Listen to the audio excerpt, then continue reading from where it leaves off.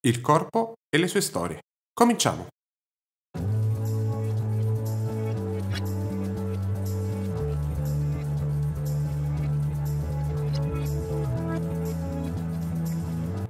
Il politicamente corretto arriva anche nella fabbrica di cioccolato, la famosa opera di Dahl, da cui sono stati tratti numerosi film e adattamenti. Alcune indiscrezioni hanno lasciato intendere la volontà dell'editore Penguin di eliminare parole e espressioni potenzialmente offensive, come ad esempio vecchio o grasso. Si tratta di un ultimo, in ordine di tempo, tentativo di pulire la letteratura e l'arte da espressioni una volta permesse ma oggi giudicate non più appropriate, non adeguate alla sensibilità degli individui moderni, comunque non più conformi ai nuovi standard del vivere comune. Dire a una persona che è grassa non è più permesso, è offensivo, varca i limiti del rispetto delle sensibilità dell'altro, anche se la persona a cui viene rivolto questo attributo è a tutti gli effetti, senza nessun possibile fraintendimento, obeso. Ma perché la parola grasso può essere considerata offensiva? Una possibile risposta può essere ricondotta ai modelli socioculturali che riguardano il nostro corpo, soprattutto nella cultura occidentale, e all'enorme attenzione che le società moderne dedicano al benessere individuale.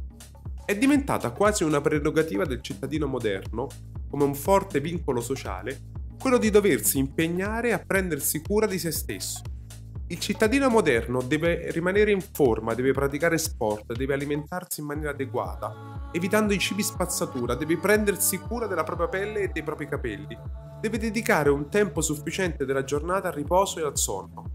Insomma, deve prendersi cura costantemente della propria persona.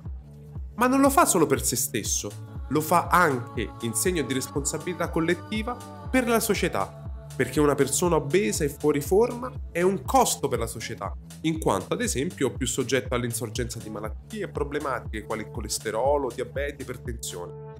Puoi mostrare in maniera plastica ed evidente che l'individuo, oltre a non avere interesse per se stesso, non lo ha neanche per gli altri, per il vivere comune.